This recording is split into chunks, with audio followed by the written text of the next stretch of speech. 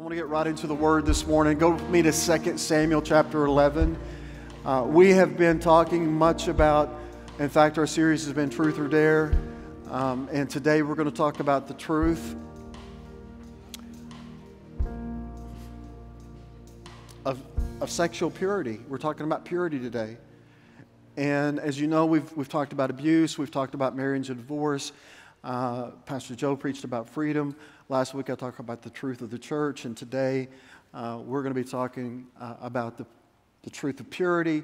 We're going to specifically be talking about sexual purity. God gave me a word um, before we even came to discovery, uh, before we knew there was a discovery, um, that, that we'd received the call about possibly interviewing for this position, and the previous pastor had had a moral failure.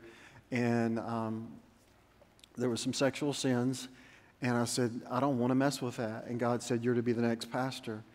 And um, so we came, and God spoke to my heart and said, There will be a great revival among our men.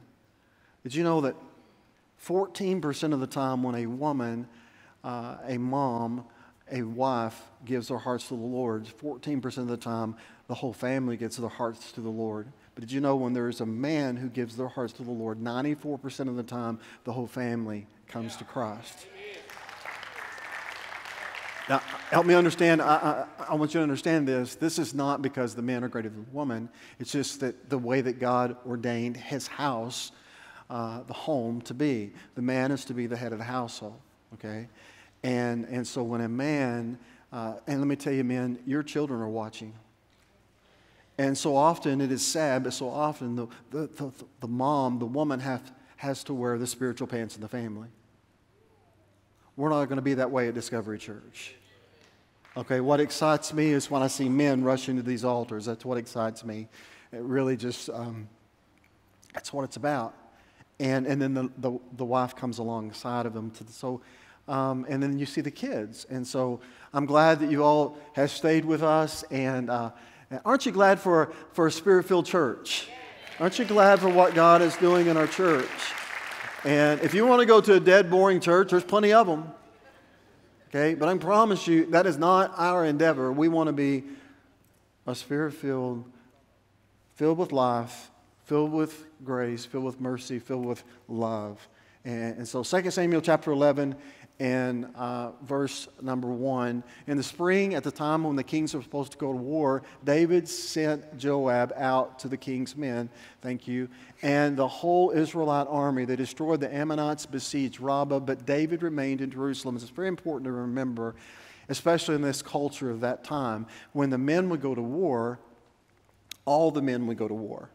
If you were of age you went. And, and, and they say that about 13 years of age and older, even if you weren't a fighting soldier, you would be with uh, their parents or their, their dad, or they would be uh, uh, they would go and fetch water, take care of the livestock. They would, in some cases, if they were strong enough, they would be uh, a junior armor bearer kind of thing.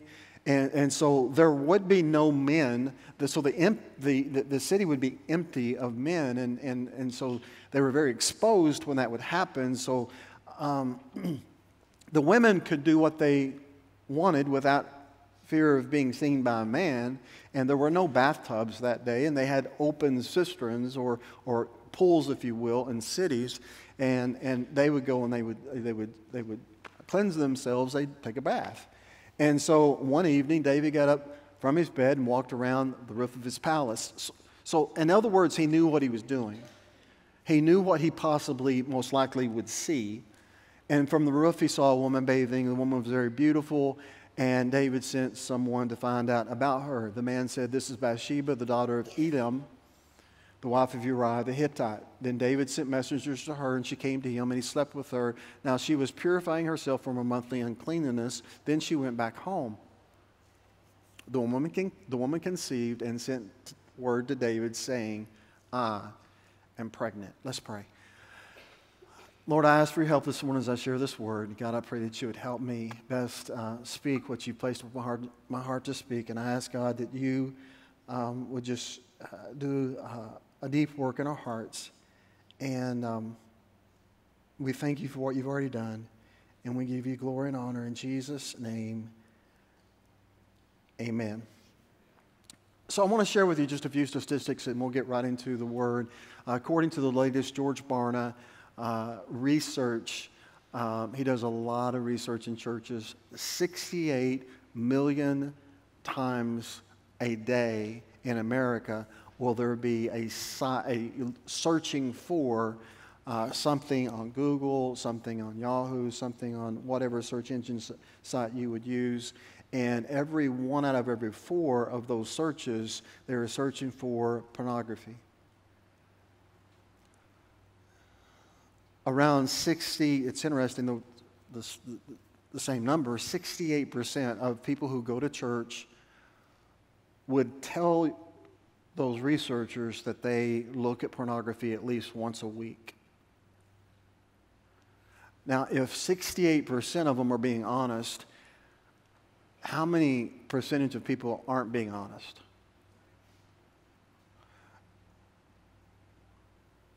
Think about it. Um, 50% of pastors admitted to, listen, uh, to, to watching, to seeing, to viewing some type of porn on a weekly basis. Of the age group of 18 to 24, that number goes from 68% to 76%. So, porn addiction is real. And, and since 2007, since the invention of the Apple iPhone, it has grown exponentially. They said they can't even put a number on it. In our culture, we're taught it's not that big of a deal anymore, but I want you to know it's a huge deal. It is responsible for 82%, according to an attorney and did this research of, of, the marriages that, that he was involved in with divorce and his firm, and he contacted other firms, 82% of divorces that, uh, that obviously end a marriage, uh, marriages that end in divorce, 82%, one of the partners were actively on a daily basis looking for sites such as that. So, do you think the pornography has entered the home? Oh, yeah. And so, is the answer more education? Is the answer more communication about this? Well, the, the, the, answer is the church quit being silent about it and speak the truth because pornography is an addiction that needs to be broken in the name of Jesus Christ. So, you know what happens with when you begin to see these images? Uh, dopamine's released. And it, it literally rewires your brain. And they say when children are introduced to it at a younger age, it literally changes the perspective or skews their, their, their, their perspective on how they look at the opposite sex. I am so thankful that I was born at such a time that I was born, and, and I'm so thankful. Mom and dad are here today, and I'm so thankful to have parents who, who were very uh, uh, controlling. We had three channels. Sometimes, well, actually, we had two. And sometimes, if you turned the, chan- the antenna just the right way, you would get ABC out of Tulsa. And, um, and, and I'm glad I wasn't exposed to that and, until years later, so many years later. And um, see, the problem is the brain remembers uh, the patterns and it forms these, these different synapses in, your, in a firing mechanism. And what happens is uh, it becomes accustomed to receiving this dopamine. And, and what happens is, after a period of time of watching and seeing this, you you become disengaged with reality. And so basically, you are escaping to another place.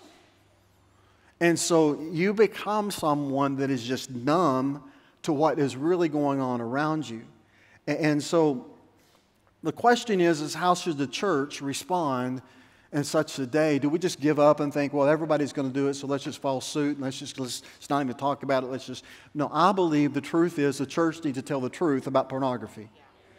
And I believe we need to address it. I believe that we as men, because men are, the percentages of men versus women are tremendous. So women are 22% likely in the church to look at porn on once a week basis. That number is growing tremendously.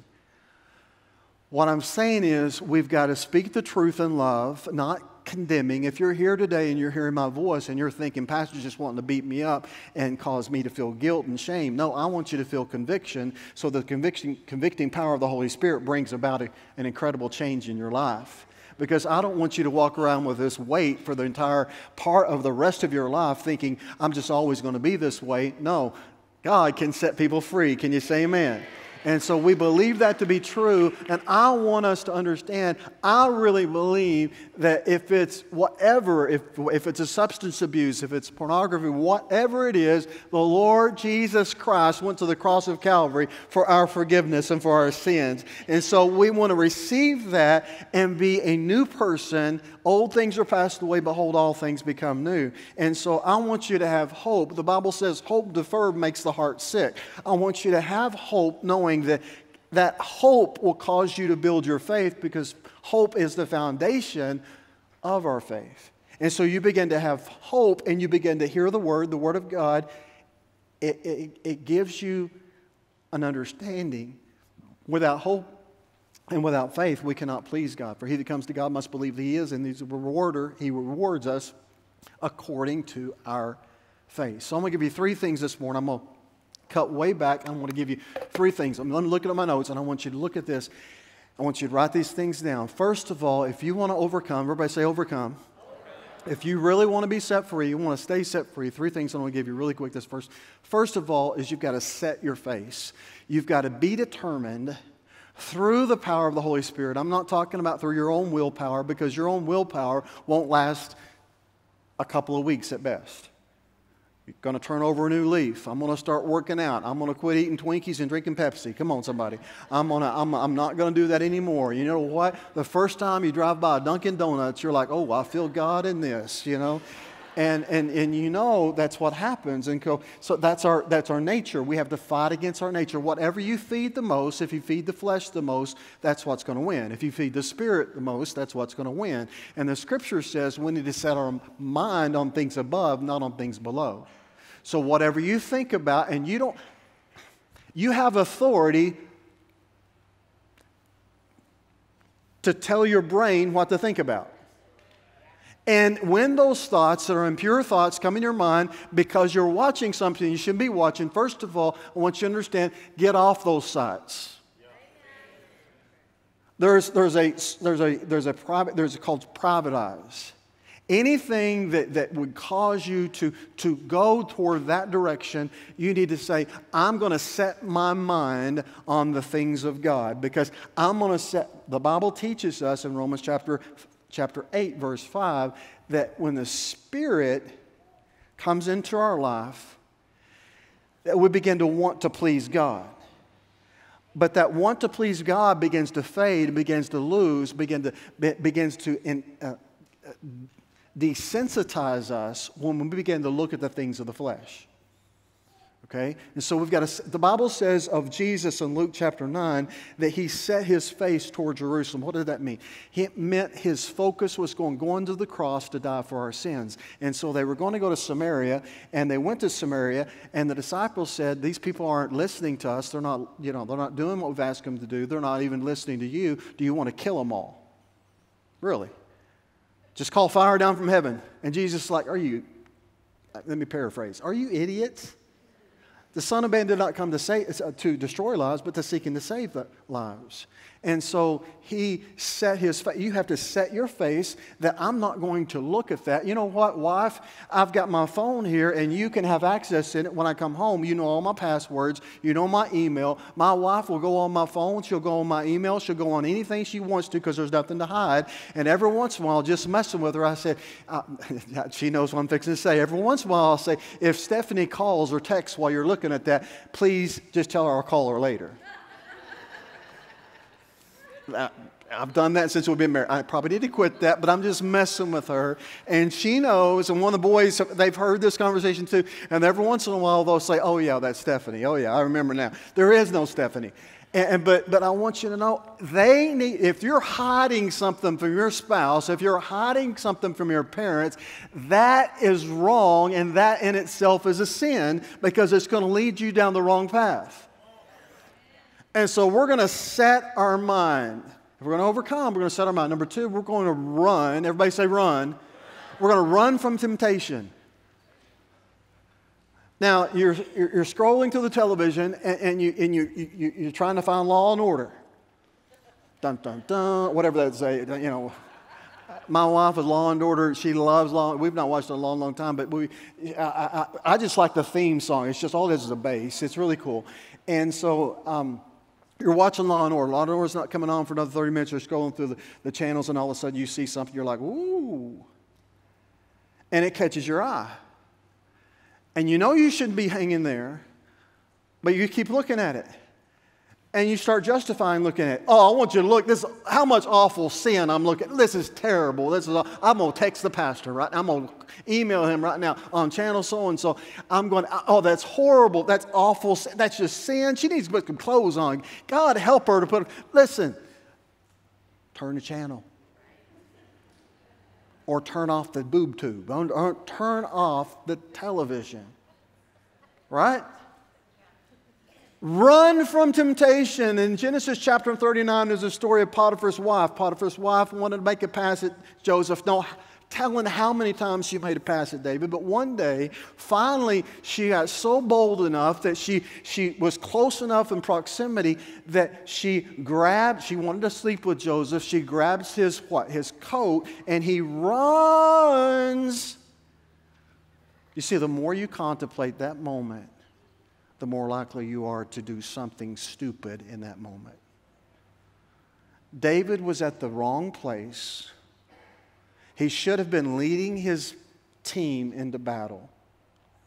He was at the wrong place at the wrong time, did the wrong thing with the wrong person. It was not his wife.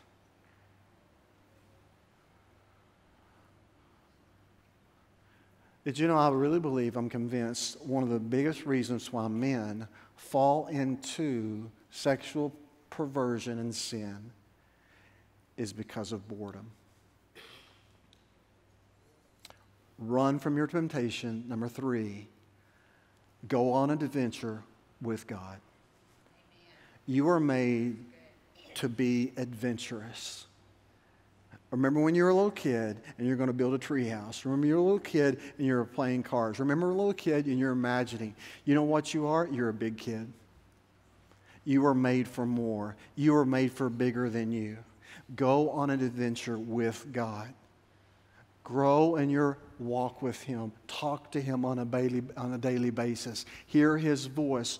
Be adventurous. Your life is too short just to float through life and look at a sight and think that's fulfilling. Listen, that ain't fulfilling. That's bondage. That's change. That's, that's, that's, that's confining. But God wants to take you on an incredible adventure with Him. And, and, and God wants you to understand He's got a life that you can't even fathom or imagine. He's got a marriage, he's got kids, he's got everything that you could ever uh, dream about, but you've got to decide I'm going to let go of what is fake or what is, is, is false reality, and I'm going to live in the now, and I'm going to go on an adventure in Christ. So last night, our oldest son, He got married. As you know, I've heard, I've been to, my, I've been to more showers in the last three months, and I, I, I hope nobody has to attend this many showers.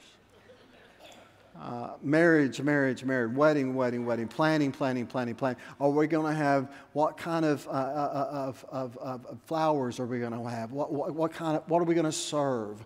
What songs? How are we going to decorate? And I'm sick of it. And, and, and, did you know that wedding lasted about 22 minutes? You know how many hours were spent preparing? I told my son last night, I went back and had prayer with him. And I said, listen, this will last just that long. But my prayer is your marriage lasts forever. You see, this time last year, Kel, our oldest, he's leaving on his honeymoon in about an hour. But this time last year, he was not doing good. He was living in sin. He was with a young lady that he was more lusting over than he was loving toward.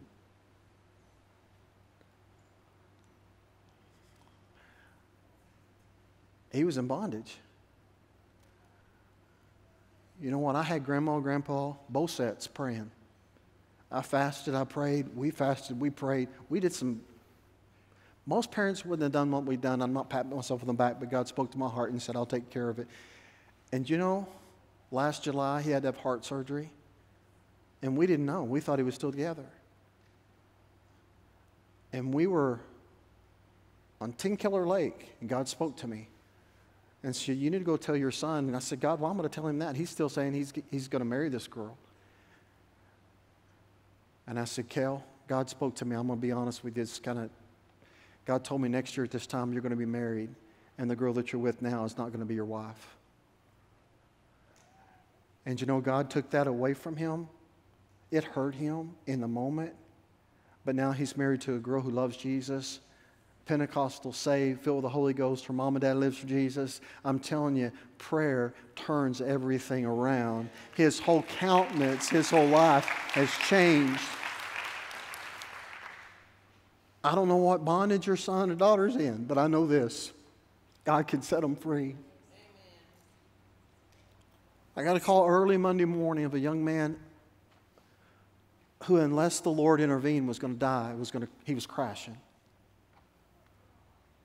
and it's all sexual perversion.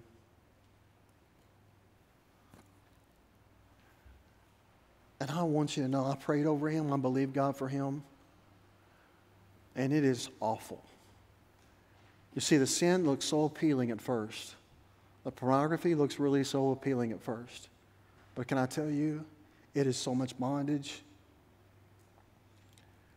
I'm praying for victory in that young man's life. I'm praying for and if I said his name, most of you would know. But I want you to know that no matter how far you've gone, God is with you in that moment. No matter how far your kids have gone. And the last point is this I want you to fight for purity. Without holiness, no man will see the Lord. That is such an unattainable goal for a lot of people, and you think, well, it's, it's never going to happen for me. No, I want you to fight. But see, understand this you're not fighting alone. Paul said, Why do I do the things I don't want to do, don't do and don't do the things I wish I would do? Why? Because we have a sinful nature.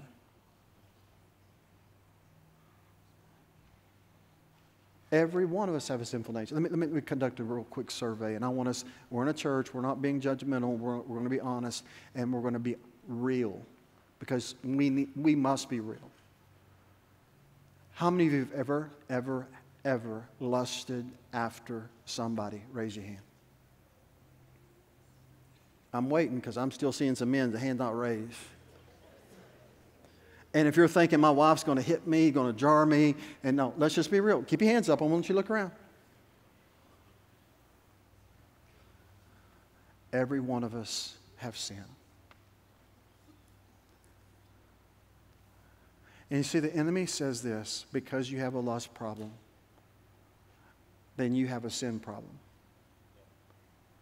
Temptation in itself is not sin. When Jesus said, If you look on a woman and you lust after her, you know what lust is? If you look at somebody and you think they're pretty, that's not sin. But when you continually think about that young lady and what you would do, or that young man, to be with that person, then you are contemplating a scenario like David did to say, I know what I'm going to do. I'm going to inquire of her, I'm going to send for her.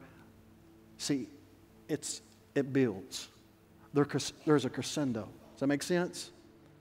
So I want you not to live in condemnation just because you think someone's pretty. Women, I know that, that, that and you struggle with that as well. I think that guy's good looking. My wife told me the other day, we were talking, she was really honest. Uh, Paul Ryan, that was a senator a few years, a House Speaker, uh, we were in Washington, D.C., and, and she, she said, I think he's cute. And I'm like, what? and the other day, we were talking, and she said, I, I, have had three crushes in my life. Your dad's one of them? This is all my, my sons. I'm like, I'm glad I'm included, I guess. She said, Paul Ryan, Oscar De La Hoya, and your, and your daddy. So if you ever read Martha and De Hoya get married, then, then we got, pro- no, not going to happen. What I want you to understand is this keep fighting. It's worth the fight. And you're not fighting alone. And if you quit fighting, you'll give in. And men, listen to me. I want to see revival of men in our church.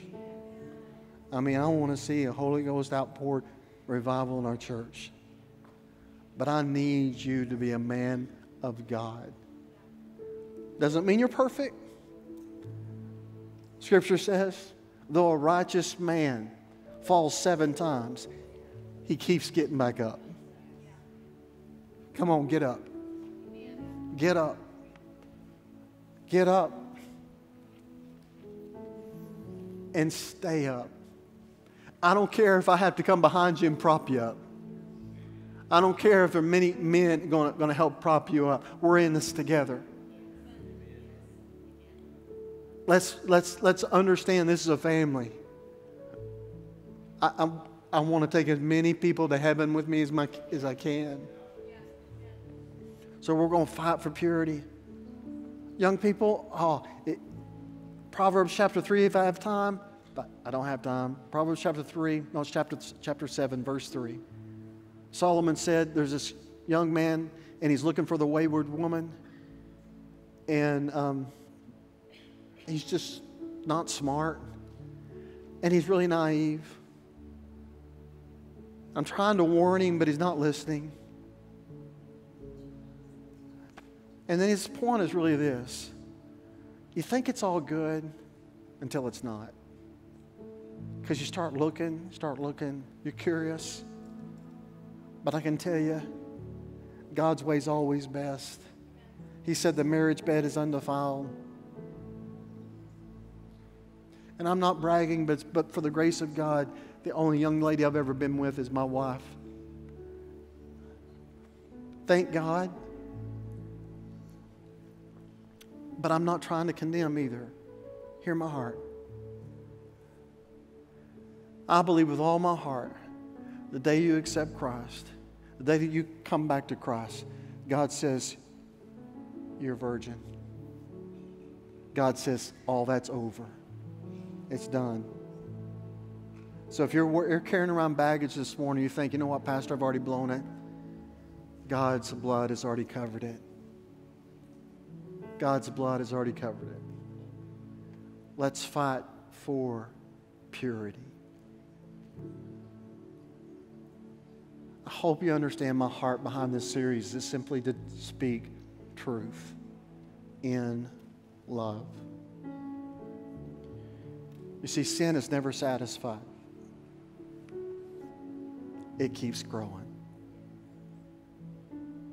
But Paul said you can come to a place in Christ that you're content. Doesn't, want, doesn't mean that you don't want more. You want more of God. But you know what?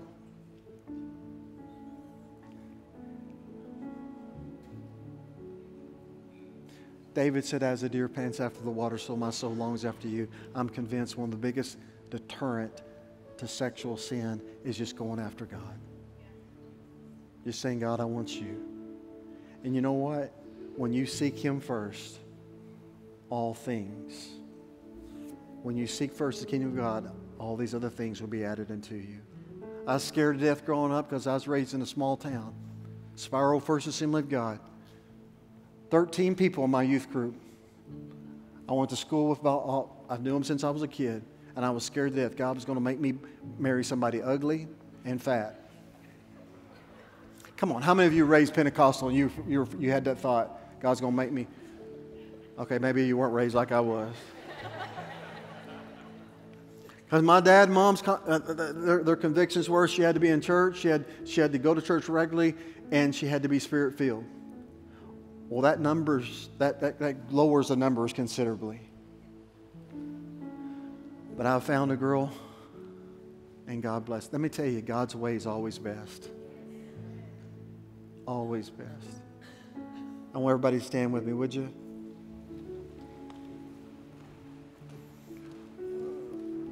Heads bowed, eyes, eyes closed, please. We're going to have opportunity for response. If you need Jesus to forgive you of sin, you need Jesus to forgive you.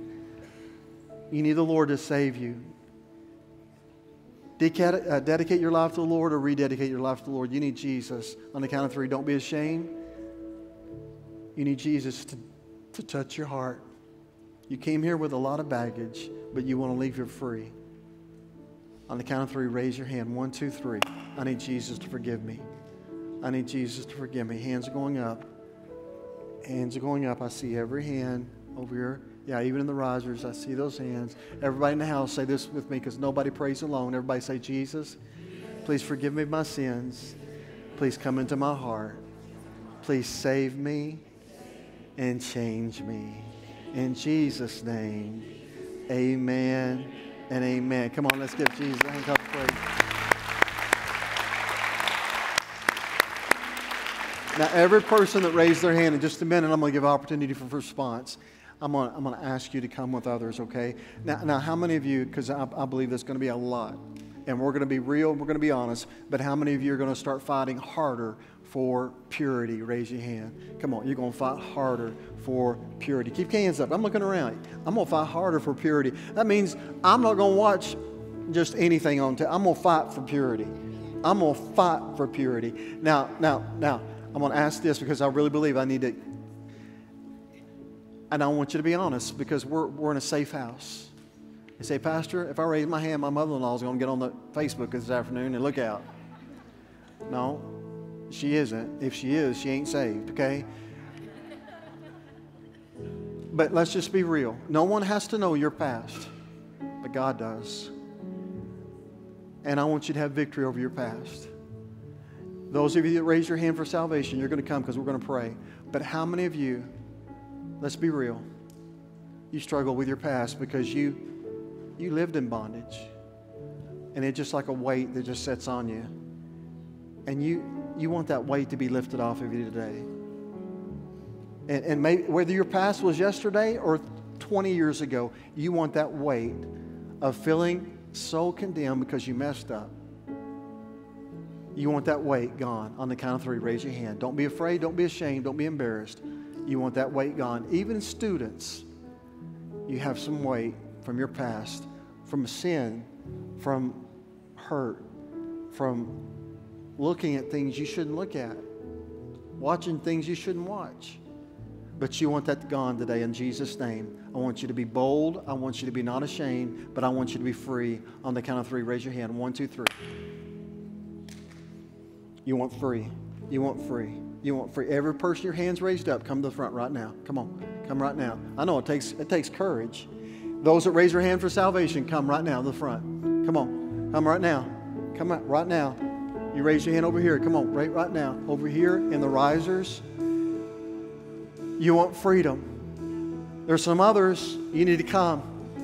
We're going to close in just a minute. Joe's going to close us in a closing prayer. Pastor Joe's going to close us. But if you want freedom, Now's the time. Many of you received freedom earlier, but you want freedom from your past. Now, therefore, those that are in Christ Jesus, there is therefore now no condemnation. Old things are passed away, behold, all things have become new. If you want freedom, these altars are open. I need, I need some people come right now. Come and get behind some of these men, women. Come right now.